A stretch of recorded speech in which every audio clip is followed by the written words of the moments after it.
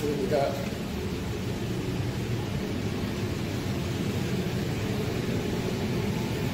Uh, majority alphas, I got some Charlies over here. We're pretty, we'll clean that up a little bit.